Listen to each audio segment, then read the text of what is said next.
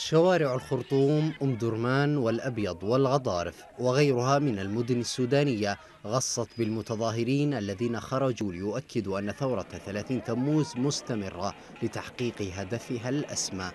حكم مدني خال من سطوة العسكر ومؤسسات وطنية وثروة الشعب للشعب. التظاهرات انطلقت في معظم المدن السودانية ولاقت دعما سياسيا من الأحزاب لتعيد إلى الأذهان أحداث 30 حزيران من عام 2019 عندما خرج السودانيون إلى الشارع لحمل العسكر على العودة للتفاوض مع قوى إعلان الحرية والتغيير بعد أحداث العنف التي رافقت فض اعتصام القيادة العامة للجيش.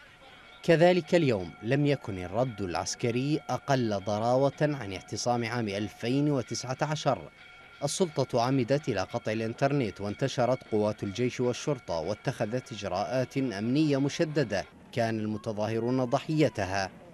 قتلى وجرحى في كل من أم درمان والخرطوم والعدد مرشح للارتفاع حيث الحكم العسكري اتخذ قرار المواجهة على ما يبدو. كل هذه الأحداث حصلت رغم تعهد رئيس المجلس العسكري الانتقالي عبد الفتاح البرهان بالحفاظ على حياة المتظاهرين.